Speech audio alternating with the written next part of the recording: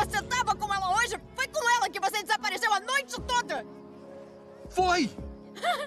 Eu queria que ela me perdoasse. Por quê? Porque eu tô tentando ser uma pessoa melhor pra você. É tudo que eu faço. Fala o que mais eu posso fazer pra você acreditar que eu te amo. Me fala. Você nunca vai confiar em mim. Confiar em você. Acha que eu devia confiar em você? Acho. O que, que eu ganhei por confiar em você?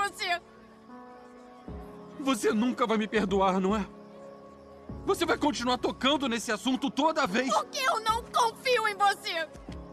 Não ferra. Vai pro inferno. Vai pro inferno você.